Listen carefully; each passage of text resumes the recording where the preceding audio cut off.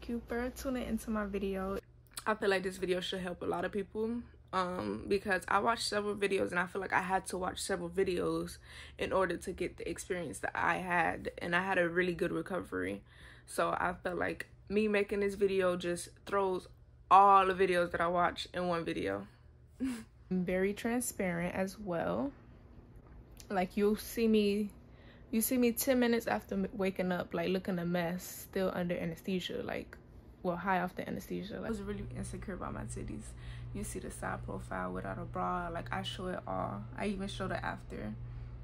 I answer questions i let you know what i did everything that i bought how i felt. I show you my journey two months before my surgery all the way up until three days after. But i stopped at three days because that's when i encountered a problem. I am gonna upload a second video though. The second video is basically just gonna be my entire recovery and what i did to overcome the problems. Um i'm transparent in that one as well. So watch the whole video. And yeah just enjoy my journey. Because i posted it for a reason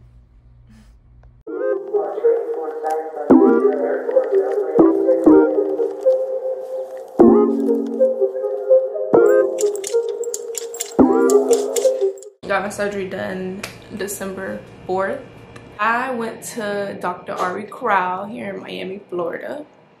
Um i got a breast lift.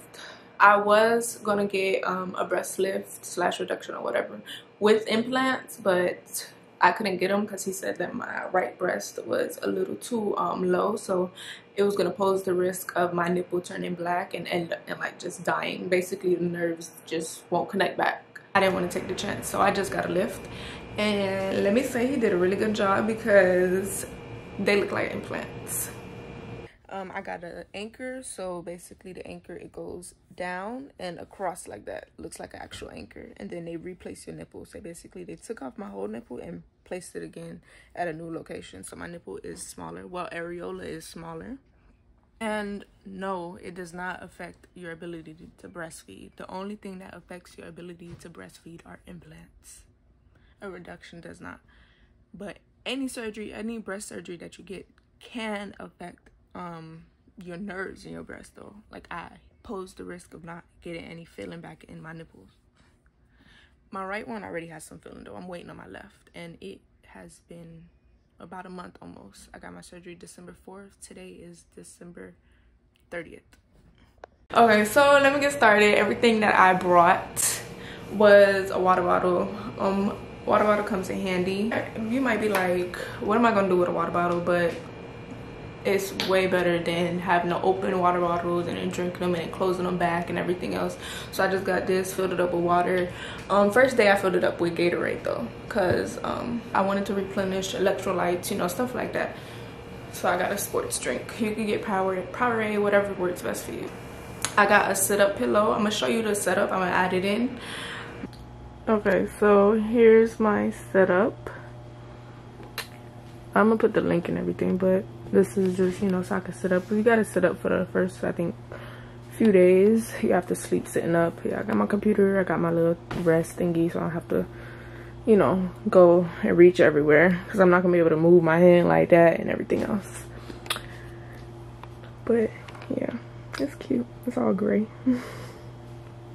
It comes in handy i'm telling you. It comes in handy. You are like do i really need that? Yes you do. Yes you do. Do not think pillows are gonna do the job because they're not they are not. I also got post-op bras. Um, a post-op bra is basically a bra that zippers in the front or that closes in the front and has no underwire no wires nothing at all. It's just straight cloth material. You have to wear these bras for three months. And i suggest that you do wear your bras for three months because at the end of the day your titties still have to drop and you don't want them to drop low. And i had just brought some smaller ones because my titties went down. Um they were swollen so i brought some smaller ones so they could be tighter and still hold up because i want my titties to still be up there. Even though they still do look like implants so i don't believe they're gonna drop that much. I still want them to be up there. But yeah um right after i got my surgery i woke up with my bra on so yeah um okay i also got multivitamins i started taking them two months before my surgery and i took two a day I know you're supposed to take one, but I took two a day. Vitamin C pills. Um, I took a thousand milligrams a day. So I brought vitamin E pills. I did not take my vitamin E pills before my surgery. No, I took them every other day after, just to help with like um, scarring and stuff. You do not want to take vitamin E pills before though. I also brought iron pills to take a week before my surgery. If you are low on iron though, I would start taking them before you get cleared. Um, i'm gonna get into what cleared is. And i also bought compression socks. Compression socks are really good because you're gonna be in bed a lot. Um, i had a stool softener. You will need a stool softener. Iron pills make it hard for you to go to bath go to the bathroom. Um, whatever prescription they're gonna give you they're gonna most likely give you percocets that also um, makes it hard for you to go to the bathroom. And going under anesthesia that really makes it hard for you to go to go to the bathroom. So stool softeners are a must. Um i also got um button-up clothes or clothes that like zip. I just got a whole bunch of um like dresses that buttoned up in the front. You're gonna look a mess but yeah. Because you're not gonna be able to lift your hands up at all. Like you're barely gonna be able to stretch and so you want to get stuff that um closes up here closes in the front.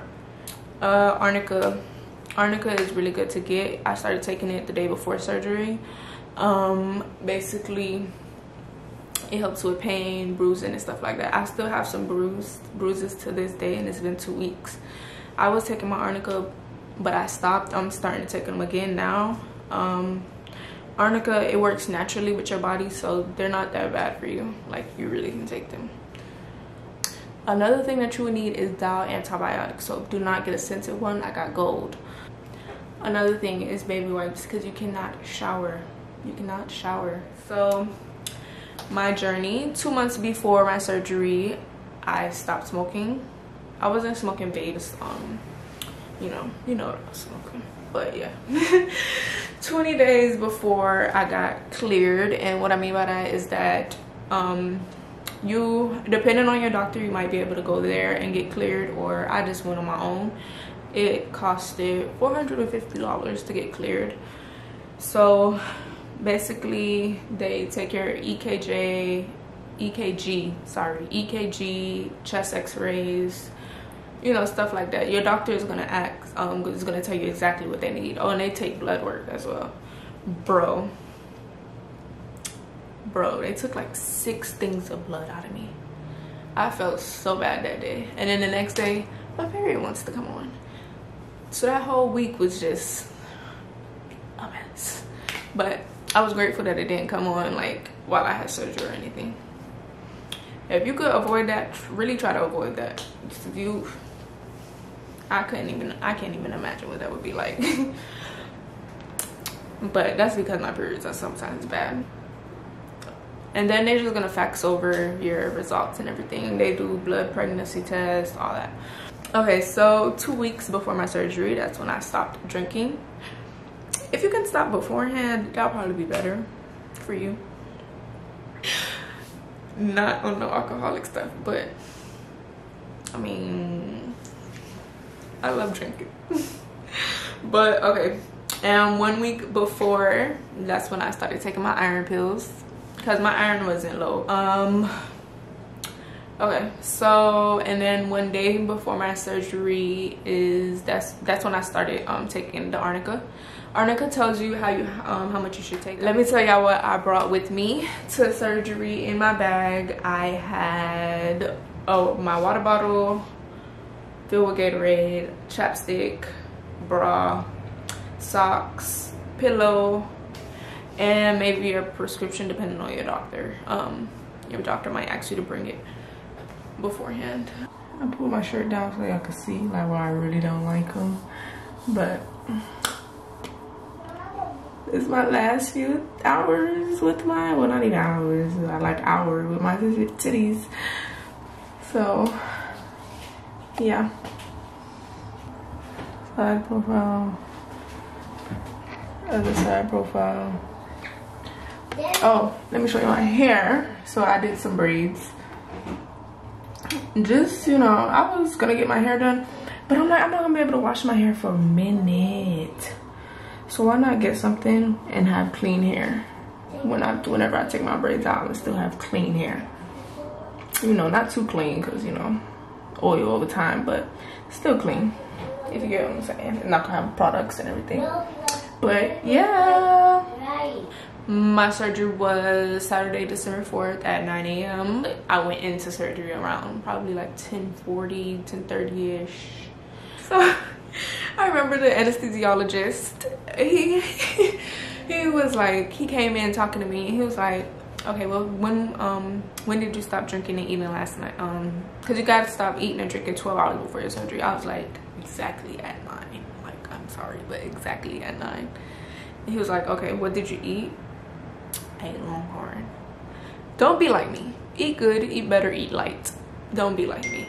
I also had a virgin strawberry mojito.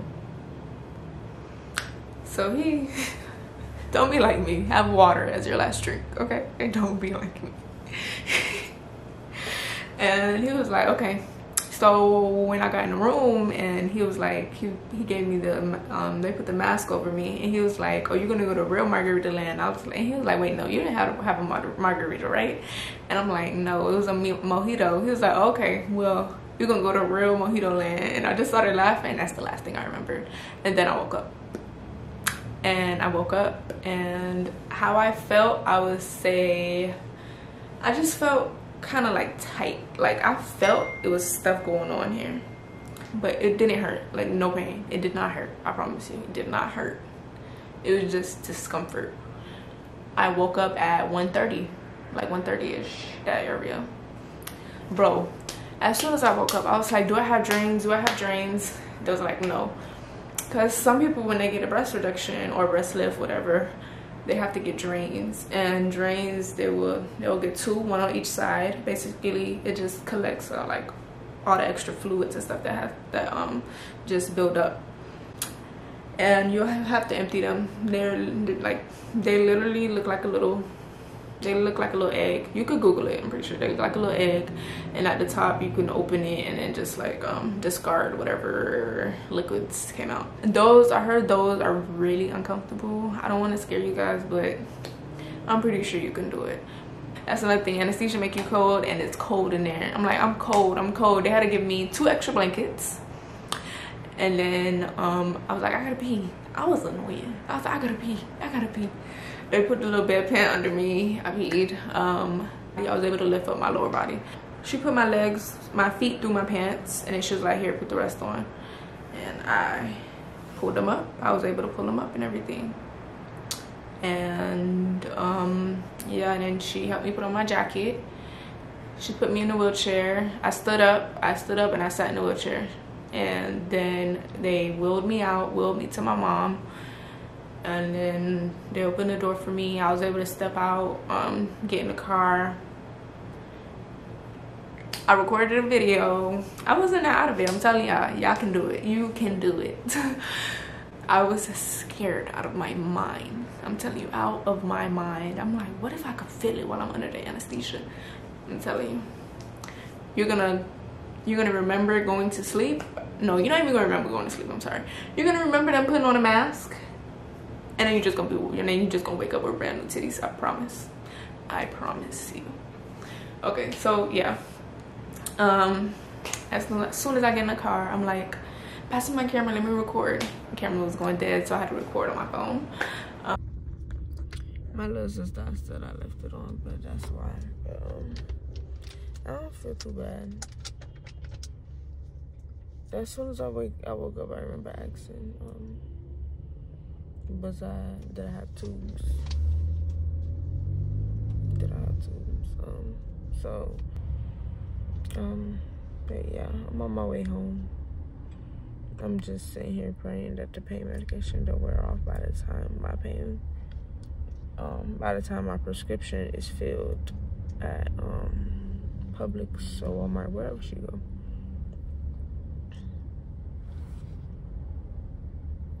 Car ride wasn't bad. You do feel every bump though. You do feel every bump. Um that's why i suggest that you can bring a pillow. I would i would suggest that you get a band though. If you get implants you get a band just to stabilize them but yeah i did not cry the entire time. If you know me i am a crybaby. But more so i guess for like emotions emotion wise i'm a crybaby because i did not cry not once okay so i'm on day two. Um yesterday i didn't really feel like making a video. Um it wasn't too bad though. I got home ate some soup watched some netflix then took a nap. And then after that i woke up watched some more netflix. My friends came to see me. I ate things like that. And um i did take a walk took a walk to the stop sign and back i was sort of out of breath and i was holding my boobs because i noticed like i have to hold them like whenever i get up i have to hold them because they feel i don't know I don't know.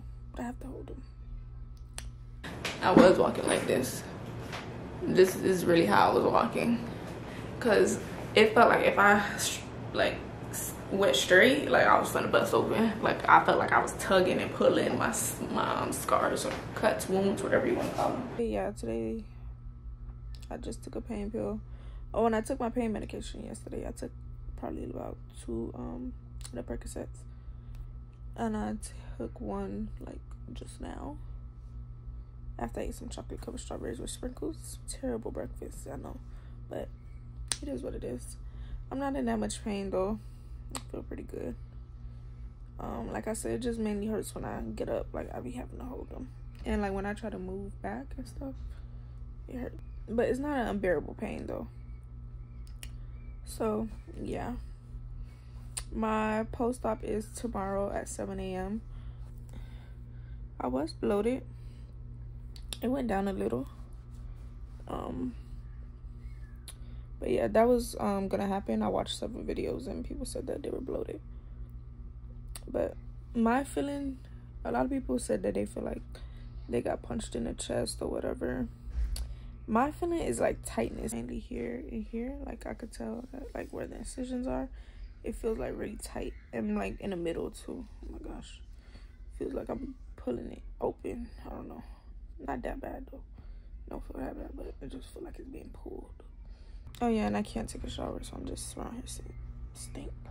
Movement was limited. I did feel better from yesterday, from Saturday though. My movement was limited. You don't want to stretch. You don't want to, like you see this? Ain't no none of that. You gonna like that. That's about it. That's all you gotta do. And Unless you move your whole body over to do that. Ain't no none of this. Ain't none of that none of that and don't even try because you don't want to you don't want to um, mess up your um, implants. If you get implants or you just don't want to mess up like anything just don't try. Your body isn't, isn't gonna let you know but don't try to force it. I'm on my way to my post op i did an outfit change y'all. I got home at like 8 30 probably.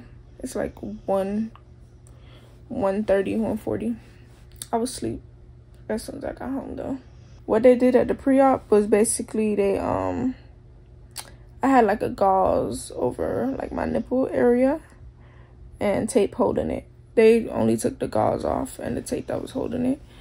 Um, so now I can like sort of see like just a little bit of my nipple. Um, she also told me to change my bra every day. And you know, just continue to sleep upright and sit upright, which I'm I'm doing. And I get the tape taken off next week Monday. So I'm I could still, you know, shower my lower body though. But I can't get none of this up here wet. So I'm gonna have to just use baby wipes under my arms. I don't have no like real real pain though. It's just like discomfort. And that's how I've been ever since I got back. I haven't been in no real pain. The only time that I could say I've been in real pain, oh my god, I dropped my phone on my breast. Bro. Bro. It hurt it so bad so bad. You think dropping your phone on your face hurt? I freaking screamed. My dog had looked at me like I was crazy. So I ended on my day three and post-op. But second video, I'm gonna show you everything else. I ended it there because day four, I didn't really do nothing. Um, but day five that's when i went to get my tapes taken off because of the problem that i encountered which i'll let you guys know in the next video. So stay tuned. Um,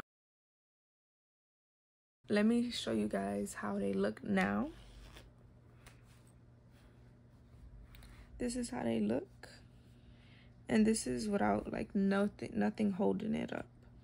This is how they look I don't know what cup size I went to. I was a 34 double D. I can't wear regular bras yet.